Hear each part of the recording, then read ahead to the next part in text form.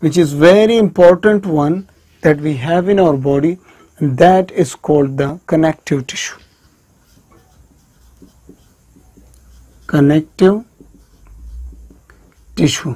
Now let's define connective tissue. What is connective tissue? Friends, let me make it very simple for you guys. Wherever these tissues are present, these three tissues in our body, at any place we have these tissues, there will be the presence of this fourth tissue. What I mean to say is that this tissue is present in all those areas of our body where these three other tissues are present right? So if there is any muscular tissue there will be connective tissue. If there is any nervous tissue there will be connective tissue. If there is epithelial tissue there will be connective tissue right so this connective tissue is present everywhere in our body where all these three other tissues present why because this tissue is there to support other tissues. This connective tissue is present everywhere where all these epithelial and nervous and muscular tissue is present. Why? Because this tissue supports all these other three types of tissues which are present in our body. Right? So we define this tissue as the tissue which support other tissues of our body that is called connective tissue right the tissue okay the tissue which support other tissues of our body.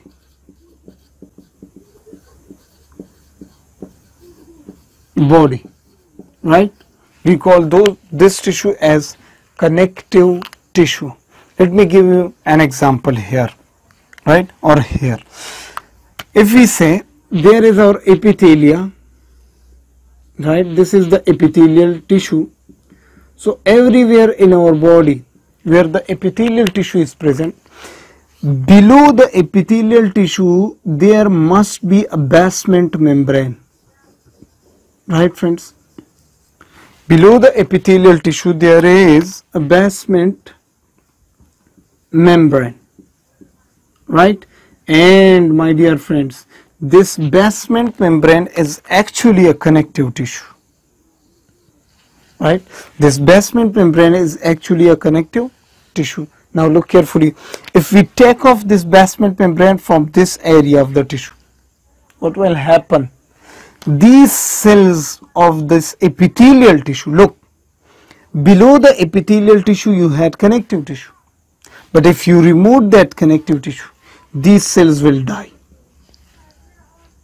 Right? So we say this for the life of these epithelial cells or epithelial tissue connective tissue is very important that's why I have written here that the tissue which support other tissues of your body we call that connective tissue. Right friends? If you have a muscle here look friends this is a piece of your skeletal muscle right? Making a very simple diagram. Look, above your muscle you have this special protective layer, right? This is called the epimysium. What we call it perimysium and this perimysium what is this or we sorry we call it epimysium and this epimysium is connective tissue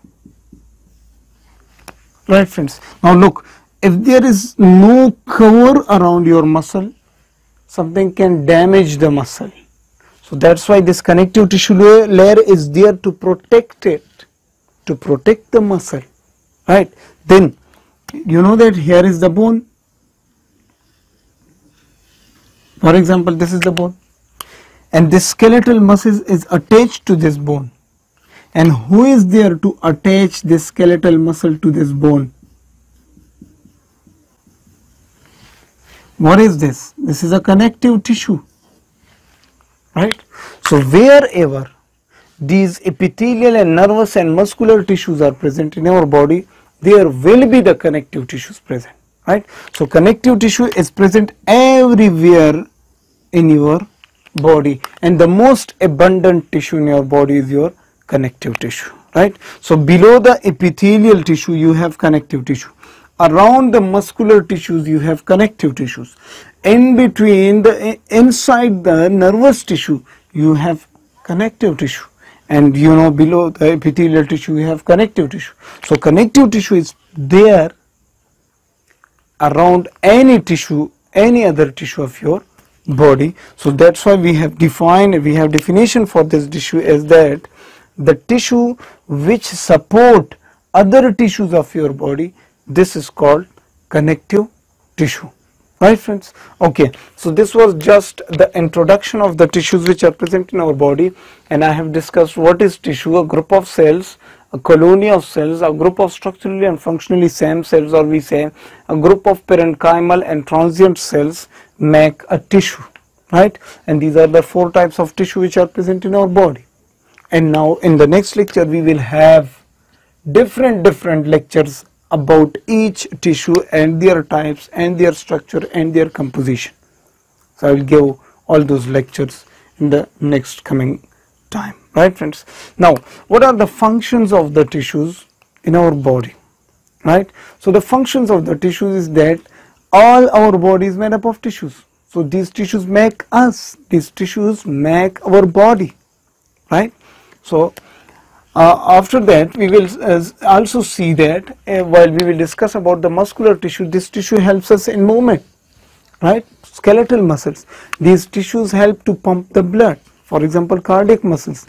These tissues help to regulate the blood uh, the, regulate the blood pressure. For example in your vessels you have smooth muscles. These tissues help you to uh, to uh, in, in respiration in breathing and we know that these tissues help to make you aware of your body right? So nervous tissue. And the epithelial tissue the protective tissue the secretory tissue right? So we will have uh, different lectures and we will discuss the functions of each and we will discuss the structure and composition of each tissue in a big detail inshallah. So friends this was just an introduction to the tissues. Now in the next lecture we will start we will begin from the epithelial tissue and then we will go forward and we will discuss all the tissues in big detail. So see you guys in the next lecture